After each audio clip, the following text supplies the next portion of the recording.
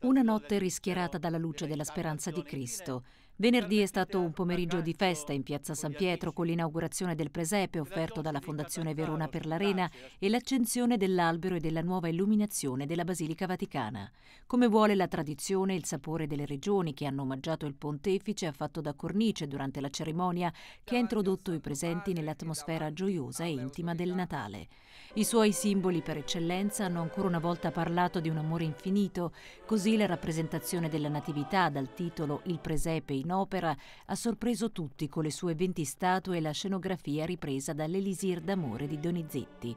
Una rappresentazione che non teme il tempo, così come l'abete non teme l'inverno e si erge verso il cielo con il suo manto verde. La regione Calabria ha offerto quest'anno la conifera alta 25 metri e mezzo per 80 quintali di peso. A lasciare tutti attoniti anche la nuova illuminazione a LED della Basilica Vaticana che esalta l'architettura della struttura e consente un risparmio energetico del 70%.